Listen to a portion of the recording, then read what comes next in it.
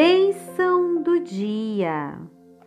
Se procederes bem, não é certo que serás aceito? Se todavia procederes mal, eis que o pecado jaz à porta. O seu desejo será contra ti, mas a ti cumpre dominá-lo.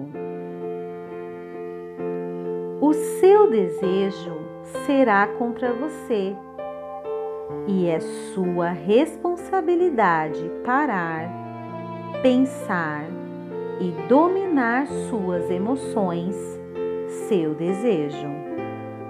Ninguém é levado a cometer algum erro sem que tenha tido oportunidade de escolher. Você tem força para resistir à tentação. Tenha um dia abençoado.